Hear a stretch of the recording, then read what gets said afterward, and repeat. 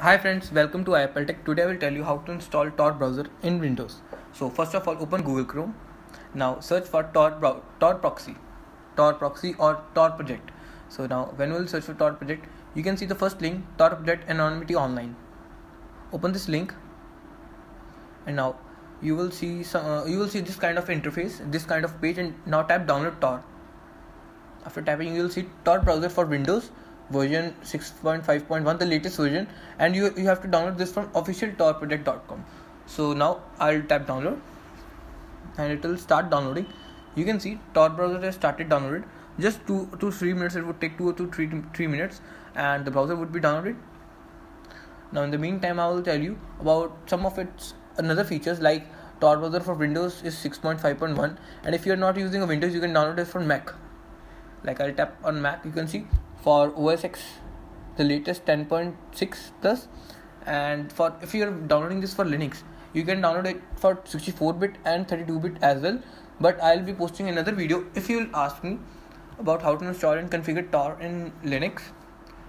So and and because Tor is an Linux is an Debian version so it is a bit difficult at different process.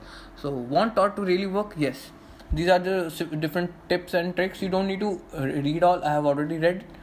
And this is apple os x android. Now tor is even available for android from official website not from any other link you have to download. Tor from orbot from an official website. Orbot is an apk formed app. So here we, you can see the category here microsoft windows apple os x linux and android but in my previous video, I've told how to install it in iOS and the best version for iOS. You can't see an iOS official iOS app, but I have told you in my last video. I will give you the link in description in about how to install Tor in iOS and configure Tor. Because configuring Tor in iOS is not a difficult process, rather than it's a bit slightly, slightly different process for Windows. So I have already installed Tor browser. I'll delete it. Now my download is about to finish. Yes, now download is finished now we'll open the download and run. In English? You have to just tap next next next. So there's no lengthy or difficult process in installing Tor browser. It's normal like we are download you uh, we are installing any other app APK or not APK any other small software. So now just wait for few seconds and the Tor browser will be now installed. Yeah we are on our home screen. And you can see there is another browser created Tor browser because I have already deleted one so after completing you can see there is a called tor browser browser and an icon. We had tapped finish so the tor browser would open. Uh, the browser of the tor browser fo- folder would just contain some files. So now we'll tap connect option and you can wait for 2 to 5 minutes not 5 2 to 4 minutes while it will connect the tor networks to, to Tor bridge because you're configuring your Tor browser for the first time, not configuring connecting and downloading. So it may take two three minutes. So that you, you know you do not need to worry because uh, that rather it's taking some time or not, it'll just be fine. You can see loading relay information, and it is about to be ending.